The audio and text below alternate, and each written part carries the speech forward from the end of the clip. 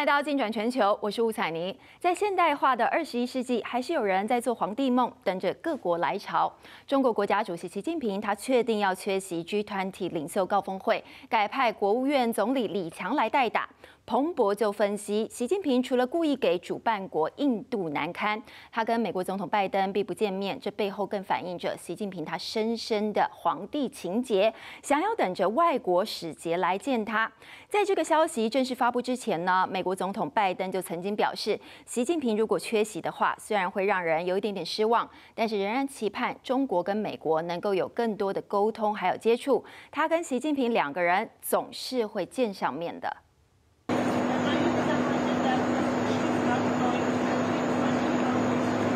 I am disappointed, but I'm going to get to see him.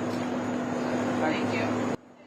习近平上任初期以闪电外交巩固了全球政治家的形象，他从来不曾缺席 G20 高峰会。这次选择缺席九号到十号在印度新德里的峰会，是二零一二年来首度缺席。新加坡国立大学李光耀公共政策学院的副教授吴木銮就指出，习近平很享受在中国接待外宾时的高高在上，他在金砖峰会上面也受到了特别的待遇，但是在 G20 峰会却不可能得到这样的对待。习近平缺席 G 团体，外界猜测另外一个可能就是要留在中国，要解决房市等一连串的经济问题。而各国主要央行的升息浪潮已经接近了尾声，全球房市的复苏也开始蠢蠢欲动了。虽然商办市场的行情还是冷飕飕，但是住宅价格的涨势预测将在明年如春风吹又生。过去一年半来，美国联准会带头掀起了激进的升息潮，原本预期会戳破全球的房地产泡沫，但是除了中国，全球的房价却是意外的坚挺。像是美国的房贷利率随着升息飙上了二十多年来的最高，但是全美的平均房价从二月份就开始回升了，目前只比疫情期间的最高点低了百分之一左右。而根据路透调查，各国的房地产分析师几乎都比几个月前。更乐观了。分析师在五月仍然预估今年的美国房价会下跌接近百分之三，但现在认为美国房价的修正已经结束，今年的表现将会持平。那加拿大跟英国的房价预估的跌幅就缩小了。澳洲房价更是渴望出现上涨，而房价唯一遭到下修的是中国。分析师在五月的时候预估了中国房价将会出现反弹，但是在八月底调查的时候预测今年房价根本就涨不动。不过路透的调查还没有反映中国官方最新的房市振兴措施。中国的四大一线城市北上广深从八月底以来已经陆续实施了认房不认贷的政策，只要在当地你的名下没有房产，就能够享有。首购族的低自备款，还有优惠的贷款利率，这使得刚刚过去的这个周末看屋的人潮再度涌现，许多的建案甚至因此连夜调涨了售价，让房地产业界开始喊中国房市的金九银十就要回来了。但是专家指出，截至目前为止，这些抢救的措施都只是小打小闹，没有触及核心。中国房市想要真正得救，关键仍然是要取消习近平管控房市的三条红线，要允许建商降价自救，让整个市场自我调节。一栋栋新建案盖起来，但是上海人却只能大叹高攀不起。因为上海这边的房子太贵了呀，不是我们有能力去考虑这件事儿。中国政府接连出招救房市，缓解房产业危机，以及支撑经济成长率。最新措施是松绑房贷，降低利率。只是这样就会让人民更有买房意愿吗？上海人这样说：其实说实在的，他不管出什么政策，都不会达到老百姓心中想要的那么一个一个，就是一个点会触动我们去买房。彭博报道，中国大型国有银行正在着手降低规模人民币三十八点六兆元，大约新台币一百六十九兆元的住房抵押贷款利率。但是，即使祭出宽松政策，房价还是太高昂。专家预期，今年下半年房市交易量仍然会持续下降。If the sales continue to decline or do not have material impact uh, from the policy easing, then we may continue to see the price decline here. 中国目前经济前景堪忧，民众也担心，如果买房，房价恐怕会继续跌，得不偿失。虽然专家认为中国政府很快会公布更多松绑房市的措施，然而中国民众不敢买房的情绪恐怕一时难以消除。近新闻史方日、周成伟报道。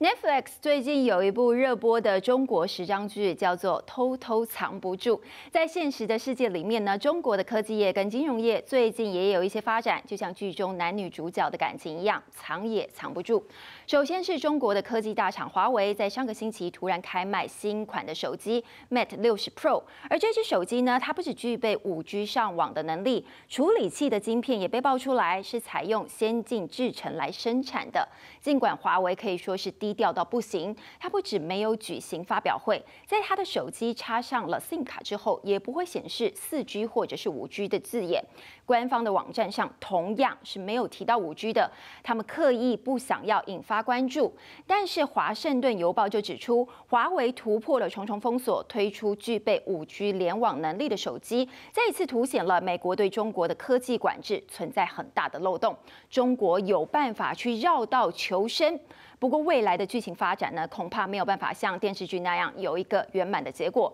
这样的科技展示呢，势必会让拜登政府加强管制，弥补漏洞，等于就是见光死了。华为轰动中国、惊动西方的 Mate 60 Pro 到底具备哪些特色，可能会迫使美国加大管制的力道呢？首先就是我们刚刚提到的 5G 上网能力。那经过实测发现，新机上网的速度呢超过350 MB，完全符合 5G 的标准。在相同的网络环境下，Mate 60 Pro 跟苹果 iPhone 14 Pro 的上网速度大致是相同的。这就代表华为新机搭载的麒麟 9000S 处理器支援 5G 网。网络。除此之外，麒麟九千 S 采用的制程也引发了关注。根据专家的推测，这颗处理器应该是采用中芯国际的 N 加二制程来打造的。N 加二相当于七纳米，不过也有分析指出，华为可能是采用了三 D 的堆叠技术，把两颗没有那么先进的晶片组合在一起，来达成更强大的性能。第三个突出的特色就是 Mate 60 Pro 是全世界第一支拥有卫星通话功能的智慧型手机，即使收不到基地台的讯号，也可以拨打跟接听卫星电话，直接超越了苹果还有三星这些一线的手机大厂。除了华为新手机藏不住技术的突破之外，还有一件藏不住的事情，就是根据英国金融时报报道，在俄罗斯入侵乌克兰，促使西方的金融机构纷纷退出俄罗斯之后，工商银行等中国的四大银行业者填补了西方同业的空缺，提供俄罗斯银行大量的资金。十四个月之内呢，对俄罗斯银行业的铺险大增了三倍以上。这就再一次证明，遭到国际孤立的俄罗斯背后还有中国来撑腰。美国的拜登政府跟西方国家看起来就像是堵水坝的少年，还有很多的漏洞要堵住，才不会功亏一篑。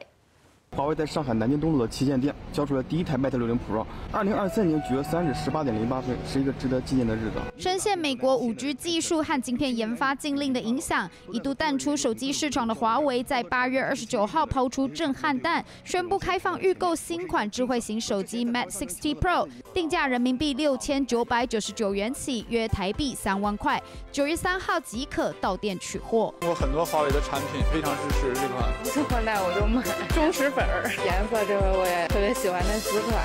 中国各地华为门市挤满排队购买新机的人潮，当地媒体声称华为新机第一波销售抢购一空，但有些人更好奇，到底华为如何绕过美国晶片禁令？中国网友们等不及一探究竟。里程碑啊，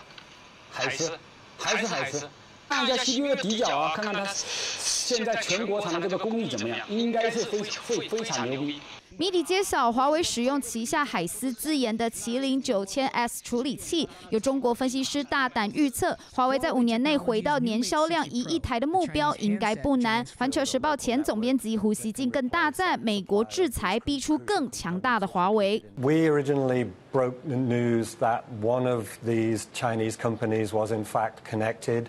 to Huawei, and that was a, a fact, effectively a shell company using government money. buying US and other equipment to continue Huawei's ability to get these components. 彭博记者仍提出质疑，而且据传中国网民实测声称，Max 60 Pro 已经达到 5G 标准。究竟中国是否突破美国禁令？华为拒绝证实，只说详情待之后发布会揭晓。记新闻李梅杰、谢红颖报道。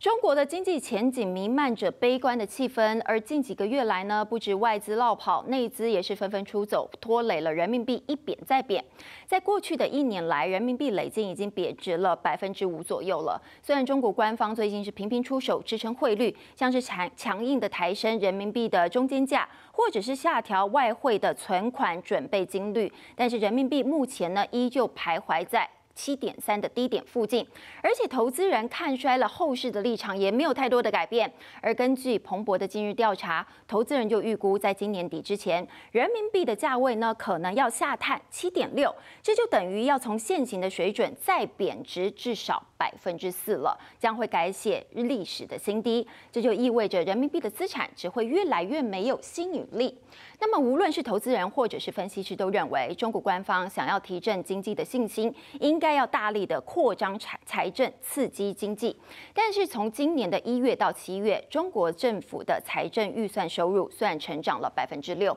但是总支出呢，我们可以看到不增反减，萎缩了百分之四点八。这就显示习近平政府他比起出手挽救经济，他更在意的是稳固财政，在扩张财政支出上面，他是相。相当相当的吝啬，那投资人已经看破中国官方这一个靠着动嘴巴救经济的招数了。所以彭博在八月底调查，有将近六成的投资人对中国政府推行大规模的财政刺激是不抱任何的期待，预计今年中国官方只会采取温和的针对性措施，而且大约有三成的投资人就认为中国政府采取的任何行动都会显得为时已晚了，而且力度太小。言下之意就是中国经济可能已经没救了。那只有百一成左右的人呢，预期中国官方将会推出如火箭筒般震撼市场的大规模刺激经济措施来振兴经济。中国经济的现况到底如何呢？刚刚结束访中行程的美国商务部长雷蒙多，他认为中国的房地产业面临相当大的挑战，而中国的经济持续放缓已经是毋庸置疑的事情。美国商务部长雷蒙多三号接受媒体专访，直言中国市场和法规的不透明，让经济面临更大挑战，与其他经济专家所见略同。The problems China have now are deep-seated structural ones, as you just heard from Christie on the property market. Uh, but you know, very high debt levels, high youth unemployment, uh, deflation. And really shattered confidence. 最新中国经济数据指出，中国工厂活动到八月已经连续萎缩五个月，制造业采购经理人指数也比预期略有下滑，加上房市恶化，消费者支出疲软，信贷增长下滑，恐怕让中国预期今年 GDP 增长 百分之五的目标难以实现。金新闻林梅杰、朱嘉玲报道。习近平的皇帝梦还没有醒，但是意大利的中国梦已经醒了。意大利的副总理兼外交部长塔加尼周日到访中国，预计要停留三天。此行他最受关注的就是要跟北京讨论退出“一带一路”倡议的问题，因为意大利从加入到现在，并没有达到预期的经济效益，激起了意大利国内许多不满的声浪。不过塔加尼仍然试图不要激怒中国，强调意大利退出“一带一路”并不代表反对中国。Italy will decide if stay or not stay in the Road and Belt uh, Initiative. The, the, the Parliament many parties are against. 意大利副总理兼外交部长塔加尼九月三号展开在中国的访问，预期会和中国外交部长王毅会面，并且一起出席中意政府委员会第十一次联席会议。只是目前只看到塔加尼到大教堂参加弥撒、参谒利马窦墓碑，以及和在中国的意大利企业人士见面的照片。对于此行所背负最重大，但也是最敏感又微妙的任务，就是可能要正式提出退出“一带一路”，却是一点资讯都尚未透露。The countries without the roadmap initiative, European countries, uh, are working better than us. 二零一九年，意大利前总理孔蒂签约加入“一带一路”，是 G7 第一个，也是目前唯一一个加入的成员国。原本希望可以振兴经济，但数字会说话。意大利对中国出口总额在二零二二年是一百六十四亿欧元，比二零一九年的一百三十亿欧元提高百分之二十六。而相较之下，中国对意大利的出口总额却是从二零一九年的三百一十七亿欧元，提升到二零二二年的五百七十五亿欧元，增加了八成之多。We want to, to work with China, but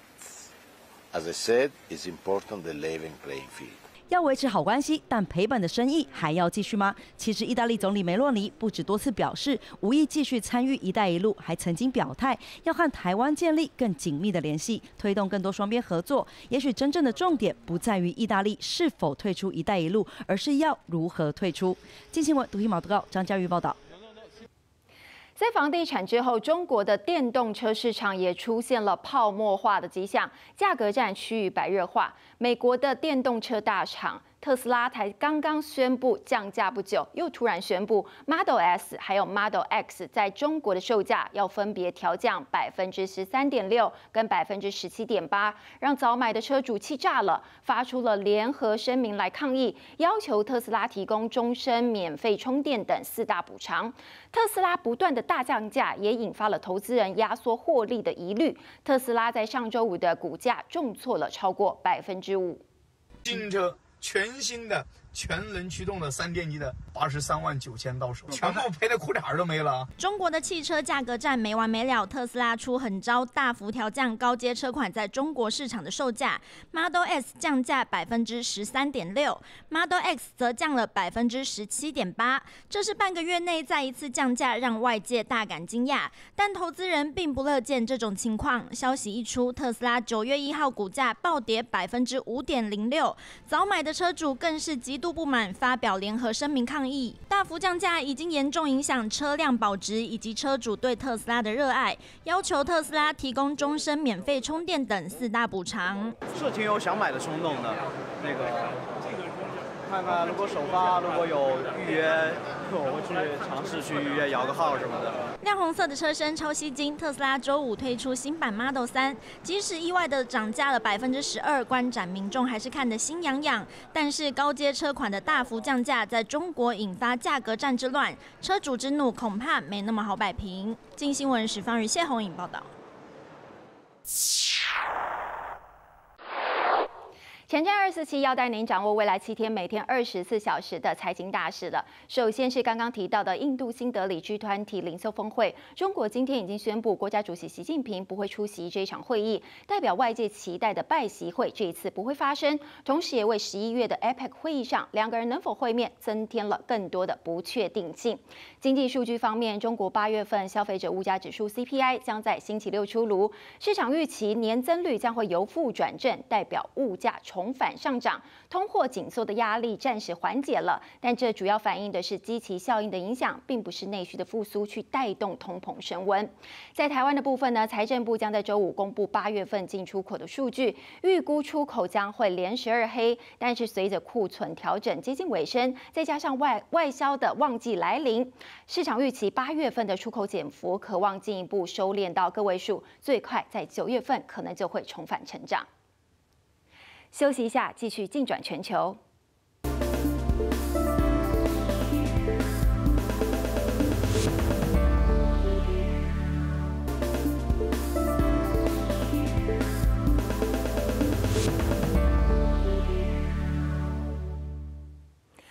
乌克兰的总统泽伦斯基在星期天决定要撤换国防部长列兹尼科夫，这是乌俄战争开打到现在乌克兰军方最大的人事变动，引发了整个国际社会的关注。在二零二一年十一月被任命为国防部长的列兹尼科夫，在乌俄战争当中虽然确保了数十亿美元的西方军事援助都是用于作战，但是他领导的国防部始终没有办法摆脱有关贪污腐败的指控，使得泽伦斯基决心要推动国防机构的改。组以求展现新的气象。乌克兰的新防长将要由国家财产基金的负责人乌美罗夫来接替。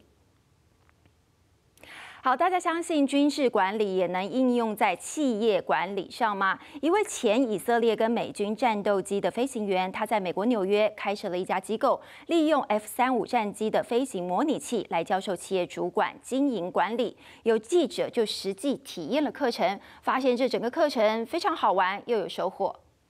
坐进驾驶舱体验驾驶 F 三五战机的感觉，这里不是电竞中心，而是利用价值数百万美元的 F 三五战斗机模拟飞行器学习经营管理。I'm here at the squadron, a place that uses fighter jet simulations to teach executives how to manage their businesses in a more efficient way. 记者实际体验后，第一轮飞行只得了一千六百二十五分便坠海。经过教练指导，第二轮飞行留意机速控制在六百节以下，挑战拿到两千分以上。And they keep on asking me, Kobe, what makes the Israeli Air Force one of the best air forces around the world? And I would keep on saying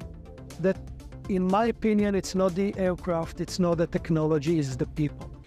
三五战机和企业管理看似八竿子打不着，但都需要控制速度与采取更多风险。从以色列军方退役的创办人在纽约开创了这罕见的开战机学习企业管理。参加这次体验课程的记者表示，原本不相信军事模拟可以应用在企业管理上，但是实际体验之后发现既好玩又有收获。看来开战机和做生意似乎还真有相通之处。近新闻张玉杰、周成伟报道。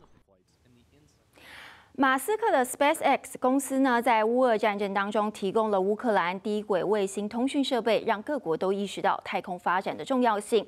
亚马逊的创办人贝佐斯，他跟马斯克的竞争从地球打到了太空，但是贝佐斯最近却被亚马逊的股东提告。股东们认为，贝佐斯跟亚马逊的董事会在发包数十亿美金的卫星发射供应商合约的时候，完全没有考虑马斯克的 SpaceX，就直接交给贝佐斯创立的蓝源公司，根本就是黑箱作业，想要自肥。